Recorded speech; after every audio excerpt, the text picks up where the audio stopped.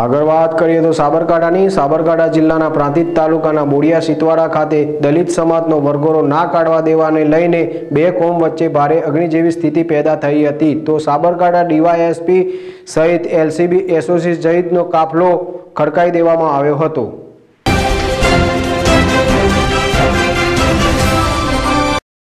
આઝાદીના વર્ષો બાદ પણ દલિતોની હજુ અવગણના થઈ રહી છે. સરકારની સુફિયામી યોજનાઓ પણ કચાશ જોવા મળ્યો છે.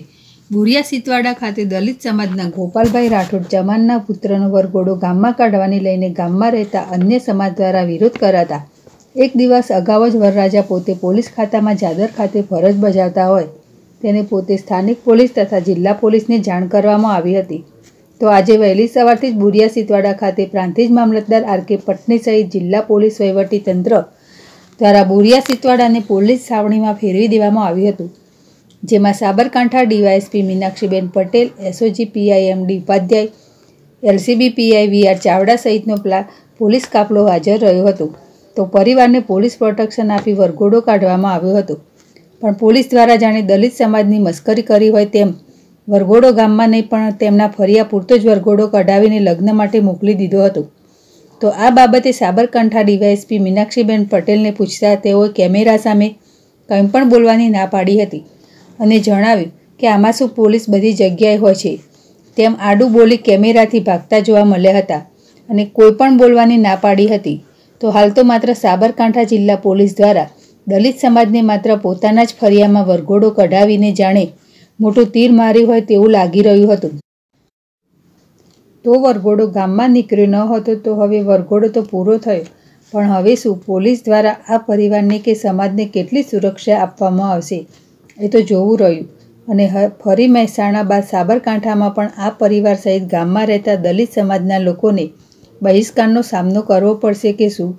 એ પણ હાલ તો જોવું રહ્યું. પણ પોલીસ કાફલો હોવા છતાં ગામમાં તો વરઘોડો ના જ નીકળ્યો. નિતેશ શાહ સાથે સંજય રાવલ જેડેશ ટીવી, પ્રાંતિજ. બાબાના લગ્ન લઈ રહ્યા છીએ. અને અત્યારે હાલ અમને એવો ત્રાસ આપ્યો છે જ્યારથી કરીને અમે દલિત સમાજના છીએ સાહેબ, બરાબર? જેથી કરીને વરઘોડો ના કાઢવા દે અમને રાતે હેરાન કર્યા છે સાહેબ, બરાબર?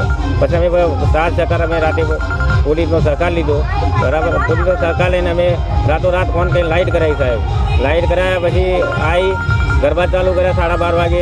એના પછી અહીંયા બોલાયા અમને. કે તમારે વર્ગોનો નહીં કાઢવાનો એવી ધમકી આપી સાહેબ. ધમકી આપ્યા પછી બે ત્રણ વાર મિટિંગ બી કરી અહીંયા ત્યાં શેરીમાં સાયરન પછી અમને એવા બે ચાર જણાએ પર ફરી લાઈટ કાઢી મેલી. પછી ત્યાં બી સાહેબને બોલાવીને મેં કીધું કે સાહેબ અમે આ બધો ખર્ચો કર્યો છે, આ આમ છે તેમ છે. એ રીતના અમને સાહેબ લાઇટનો કરી આપો અમે ટીસી કરીને ગરબા ચાલુ કરો. અને વરઘોરો કાઢવાની બિલકુલ ના જ પાડી કે ઘોરો બિલકુલ જોઈએ જ નહીં. તે છતાંય અમે એમને જાણ કરી, તે છતાંય અમને આ રીતના ત્રાસ આપ્યો સાહેબ, જોરદાર.